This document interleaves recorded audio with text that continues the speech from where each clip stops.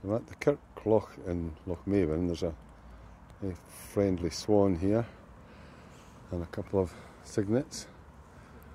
And then as we just go up round the, the loch itself, very calm, looking onto the golf course in the distance there, and the hills behind, and there's a fisherman just out in the middle of the loch, and there's other swans and cygnets at the side, coming round to the golf course again, and this is a caravan tent park.